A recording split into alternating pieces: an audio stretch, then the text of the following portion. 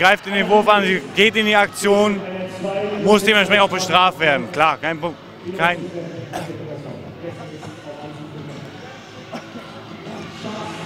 Jetzt sind mir auch die Worte weggeblieben. Jetzt weiß ich gar nicht mehr, was ich sagen sollte. Es gibt aber erstmal 7 Meter Wendy-Künste für Grünwald Schwerin.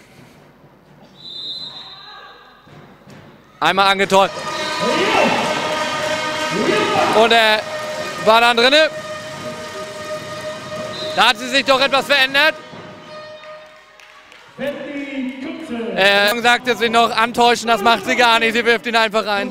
Nur mit antäuschen. Funktioniert auch auf Seiten von Grünwald Schwerin 29, 25. Ja, liegt natürlich auch daran, wie der Torhüter sich positioniert. Und manchmal ist es ein schönes Mittel, mit, mit einer angetäuschten Finte im Wurf den Torhüter vielleicht um Vorzeichen in eine andere Ecke zu schicken, um dann wirklich ganz locker einzunetzen. Annika Kaminski wieder, da konnte sie nicht werfen mit der Finte an den Kreis. Schwerin hat damit gerechnet und Steffi Dube jetzt mit der Chance und dem Tor.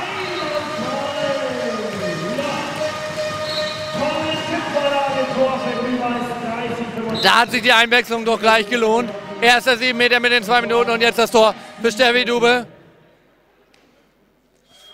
Und äh, Dorf Mecklenburg läuft nun langsam die Zeit davon. Acht Minuten sind es noch auf der Uhr. Fünf Tore vor für Grünwald Schwerin. Und der Ball von Johansson geht vorbei. Aber da war eine äh, Hand von Grünwald Schwerin dran. Und deswegen gibt es Einwurf von der Ecke für Dorf Mecklenburg. Hm, also ich habe den Block nicht gesehen und nicht gehört. War der Meinung, das war ein klarer Wurf. Ja, jetzt war es ein klarer Wurf und natürlich auch ein klares Tor. Der zehnte Treffer von Sandra Johannesson. 30 zu 26. Jule Kluth bleibt unglücklich. Und der Konter, Kinscher ist zurück und macht sie fest. Franziska Beuth konnte der schnelle Angriff nicht genutzt werden. 30, 26. Bleibt es sieben Minuten noch auf der Uhr und auf Mecklenburg wieder voll.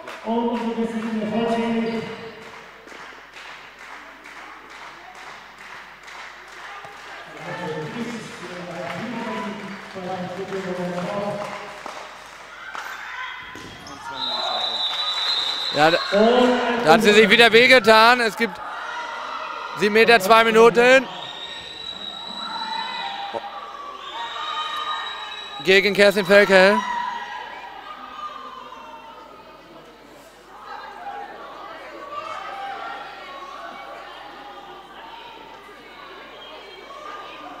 Da hat sie sich scheinbar sehr wehgetan.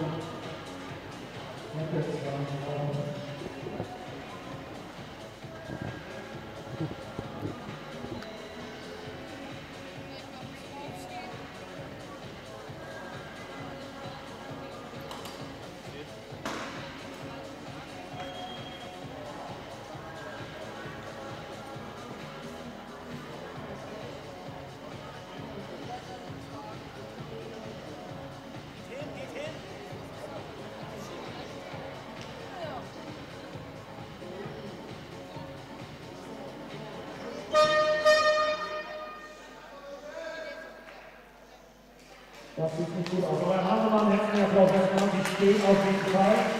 Ganz unten auf den Vorderkopf gekommen. Das wir beobachten. Aber es ist leider auch so im Sport. Ja, das sieht, das sieht nicht gut aus. Für Katrin Feld in diesem Sinne wünschen wir von ihr äh, gute Besserung und dass es nicht so schlimm ist. Sie ist da scheinbar unglücklich auf den Kopf gefallen, aufs Gesicht und äh, sie wird auf Seite getragen. Und, äh, kümmern sich jetzt die alle Beteiligten von Dorf Mecklenburg und von Grünwald Schwerin rum. Das möchte natürlich niemand.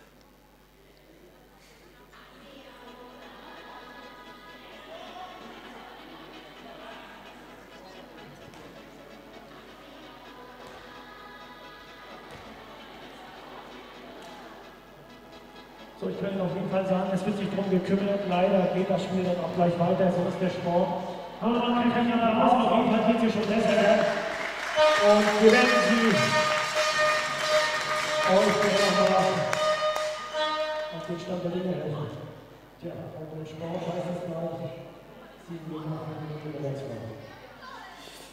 Ja, der Hallenfrecher ist richtig. Es geht jetzt äh, gleich weiter mit Sport, mit Handball und da geht es weiter mit 7 Meter für den Mecklenburger SV. Stand äh, nach 23, eineinhalb gespielten Minuten 30 zu 26 für Grünwald Schwerin. Und Grünwald Schwerin jetzt äh, mit Susi Grimm im Tor.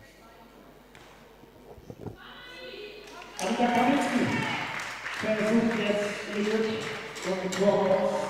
Nummer 1, So, jetzt also zurück auf Sportliche. Kaminski gegen Grimm und Kaminski verwandelt. Zu ihrem zehnten Treffer. Und wieder der Torwartwechsel bei Grün-Weiß. Pöschel bleibt also im Spiel. Und Grün-Weiß müssen wir daran erinnern, wieder noch in Unterzahl. Kerstin Felkel nach der Aktion am Kreis mit zwei Minuten bestraft. Und jetzt Jule Kluth. Jetzt der kluge Passer raus und auf Kinscher. Und sie mit ungewohnten Abschlussschlägen heute. Der dritte Wurf, äh, den sie nicht versenken konnte, gegen sechs Treffer. Trotzdem eine gute Bilanz.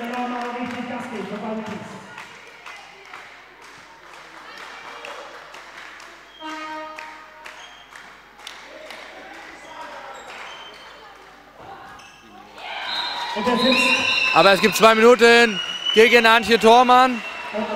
Und das Tor Nummer 11 von Andrea Johannesson. Und jetzt eine doppelte Unterzahl. Das wird jetzt mal eine ganz heiße Endphase. In doppelter Unterzahl geht es hier in die letzten fünf Minuten. Zwei Tore ist man noch vor. Und da hofft man auch auf die Kraft von Tini Schröder. Mit fünf Treffer in diesem Spiel. Die Schnelligkeit, auch ein wenig die Abgeklärtheit und Erfahrung, die ja noch ein bisschen größer ist als bei Steffi Dube. Aber es ist natürlich schwer mit vier Mann gegen eine Sechs-Mann-Abwehr. Und Tini Schröder nimmt sich den Wurf. Tor!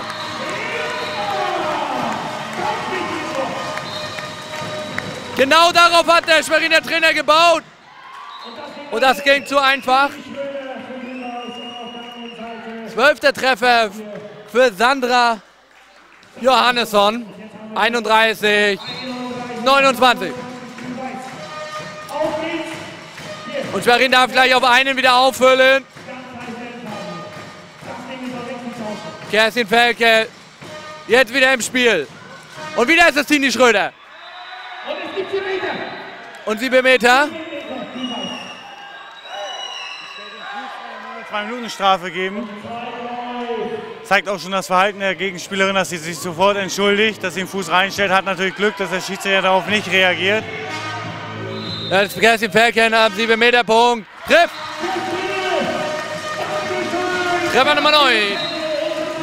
32, 29. Und es geht hier Schlag auf Schlag jetzt. Treffer Nummer 11, Annika Kaminski. Schlagabtausch jetzt. 32, 30 und noch 15 Sekunden Unterzahl für Grünwald Schwerin. Das muss man jetzt natürlich versuchen, ruhig runterzuspielen. Und Künste mit der Finte. Das war nicht schlecht, aber jetzt der Tempo-Gegenstoß. Jetzt kann aber Schwerin auch wieder auffüllen. Anti Tormann von der eigenen. Und Kaminski gibt den Ball verloren. Der schnelle Ball auf Kinscher, die kann ihn nicht fangen.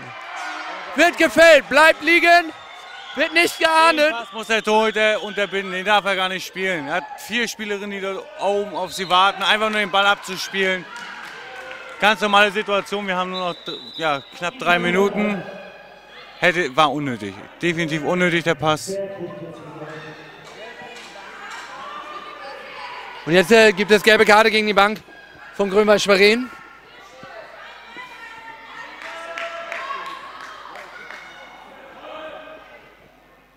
Mit diesem Pass von der Torhüterin schafft man natürlich doch Mecklenburg wieder eine neue Chance auf ein Tor ranzukommen. Spielt den Ball hinten raus in aller Ruhe. Man hat ja keinen Druck, man führt mit zwei Toren. Aber so ist natürlich jetzt hoffentlich nicht nach, äh, jetzt hoffe ich mal, dass es nicht nach hinten losgeht und auf Mecklenburg eventuell noch auf ein Tor rankommt. Und da war eben erster Block und dann der Torwart dran. Und so wieder Ballbesitz für Grünwald Schwerin und jetzt können sie ruhig aufbauen.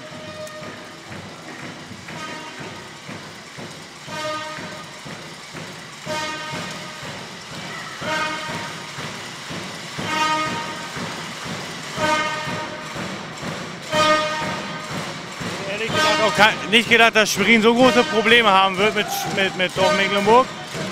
Und das war klasse Finte